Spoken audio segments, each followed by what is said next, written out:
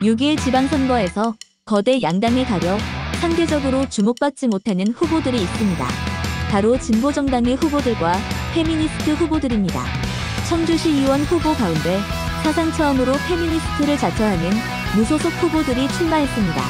청주 차 선거구의 김현정 후보와 아 선거구 현슬기 후보는 페미니스트가 있는 청주시의회를 만들어 달라고 호소하고 있습니다. 네, 안녕하세요. 저는 청주 시의원 선거 차선거구 북대 이동 가경동 어, 후보로 나온 청주 페미니스트 연대 김현정입니다. 사회에서 페미니즘의 의도나 목적 이런 것들이 굉장히 곡해가 되어 있고 오독이 많이 되어 있다라고 생각을 하는데 어, 일단은 그 여성을 대상으로 하는 구조적인 차별은 아직 존재하고 있고 어, 그 여성에 대한 차별뿐만 아니라 어, 다양한 사회적 약자들에 대한 차별을 없애고 모두가 좀 평등하고 존엄하게 살 수 있게 하는 것 그것이 페미니즘이라고 생각을 하고, 하고 있습니다. 항상 인터뷰를 할 때는 뭐 당선만이 목적이 아니다 이렇게 말씀을 드렸는데요. 어, 지방 정부 가 중앙에 비해서 할 수 있는 일은 되게 적지만 사실은 그 중앙에서 하지 못하는 일들을 또 지방에서만 할 수 있는 일들이 있거든요. 조례 제정을 한다든지 이런 일들을 통해서 할 수 있는 일들이 있거든요. 그래서 어, 지방 의회의 가능성을 너무 적게 보지 마시고 저희가 내건 공약들이 조금 어, 허황돼 보이거나 아니면 좀 너무 이게 정말 실현 가능한가라고 의심하실 수도 있는데요.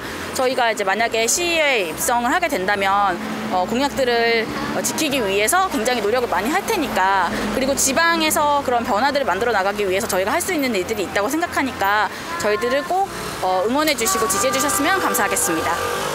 이들은 차별금지법 제정을 촉구하며 단식 농성을 벌이기도 했습니다. 안녕하세요. 청주시의원 후보 기호 4번 아선거구의 현슬기라고 합니다. 차별금지법 제정이 15년 동안 많은 활동으로 이루어지고 있음에도 민주당은 요지부동으로 움직이지 않는 모습을 보고 한시라도 빨리 제정을 촉구해야겠다는 생각에 참여를 하게 됐습니다. 페미니즘에 대한 오독이 많은데 페미니즘은 비단 여성뿐만이 아니라 세상의 모든 차별을 없애자는 취지의 그런 것이거든요. 그렇기 때문에 어, 농민이나 장애인, 아동, 노인을 비롯한 다양한 약자들을 위한 공약을 담았습니다. 당선이 된다면 좋겠지만 사실 지방선거에서 다양한 약자들의 목소리가 지어진 지 오래라서 저희는 그 약자들을 위한 소리가 가시화되고 대- 저희가 대변할 수 있게 된다면 그것만으로도 저희의 승리라고 생각을 하고 있습니다. 평등의 가치가 보편화되려면 페미니즘 정치가 필요하다고 생각합니다. 페미니즘 정치는 모든 약자를 위한 정치이기 때문에 페미니즘 정치에 한 표 부탁드립니다.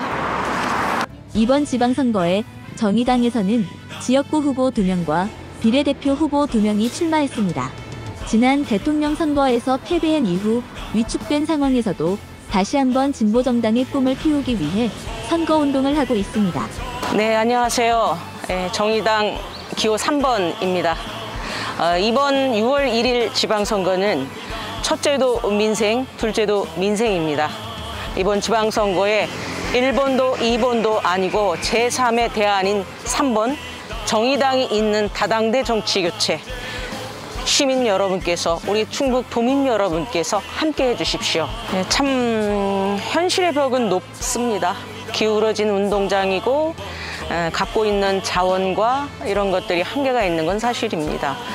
과연 이런 상황에서 어, 정의당이 그리고 시민들께 어떻게 다가갈 것인지 고민이 많은 게 사실입니다.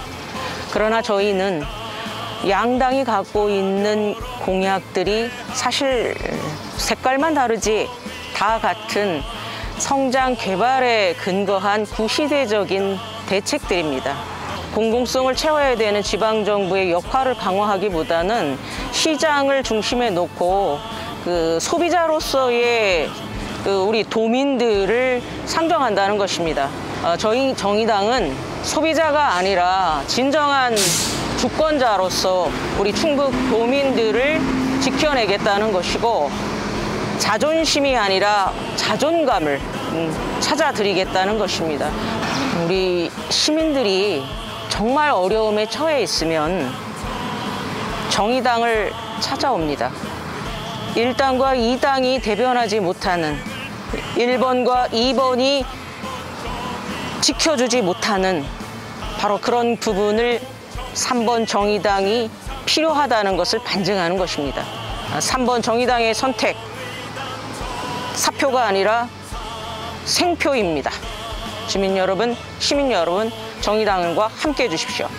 과연 이들은 유권자로부터 어떤 선택을 받을지 주목되고 있습니다.